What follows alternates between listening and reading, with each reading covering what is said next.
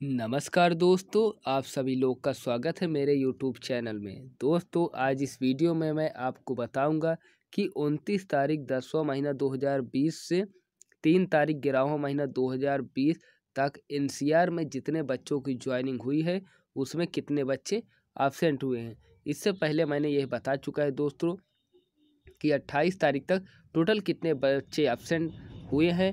मैं वीडियो में लिंक दे दिया हूँ, आप वहाँ से देख सकते हैं। अब मैं आगे बताऊँगा आपको कि उनतीस से लेकर तीन तारीख तक कितने बच्चे एबसेंट हुए जितना ज़्यादा बच्चे एबसेंट होंगे वेटिंग वाले बच्चों के लिए उतनी ही बड़ी ज़बरदस्त खुशखबरी होगी और हम यही चाहते हैं कि सभी बच्चों की वेटिंग क्लियर हो।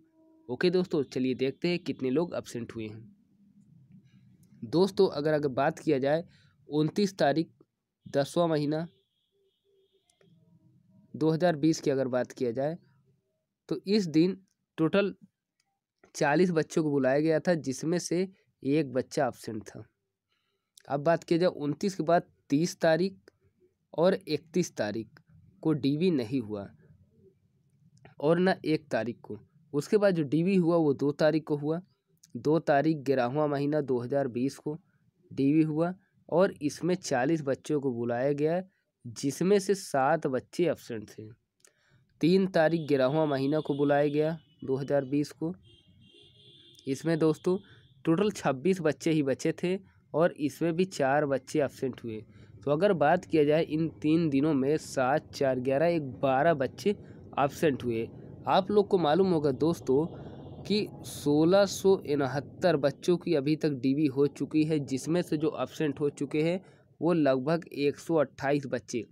दोस्तों, दो चार कैंडिडेट्स का डाटा इधर उधर हो सकता है प्लस माइनस में।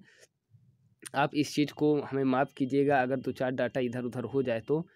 क्योंकि कुछ बच्चे तो ऐसे होते हैं जो डीवी के दिन तो नहीं जाते हैं और उसके अगले दिन या अन्य दिन जाकर उसे ज्वाइन कर लेते हैं।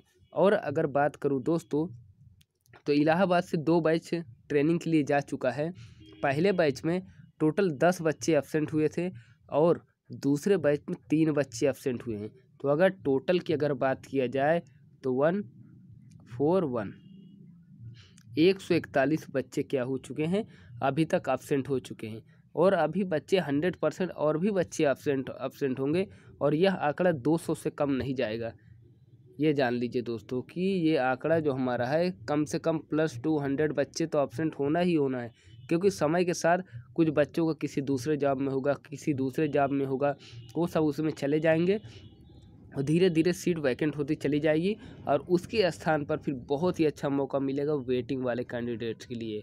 और मैं यही चाहता हूँ कि वेटिंग क्लियर हो दोस्तों, क्योंकि हमारे वेटिंग वाले भी हमारे साथ के ही हमारे भाई लोग हैं और हमारी यही दुआ है क्योंकि ज़रूर से ज़रूर क्लियर हो। ओके दोस्तों तो आप जान ही गए होंगे कि इलाहाबाद एनसीआर डिवीज़न में सोलह सौ उनहत्तर बच्चों में से एक सौ अट्ठाईस बच्चे अभी तक लगभग एबसेंट हो चुके हैं। अगर आप मिला लीजिए ट्रेनिंग का भी तो काफ़ी बच्चे वन फोर्टी वन बच्चे एबसेंट हो चुके हैं। तो दोस्तों, मेरा अगर ये वीडियो अच्छा लगा हो तो वीडियो को लाइक कीजिएगा, शेयर कीजिएगा और चैनल को सब्सक्राइब कीजिएगा। Thanks for watching okay bye मिलते हैं नेक्स्ट वीडियो में. इसी तरह अपडेट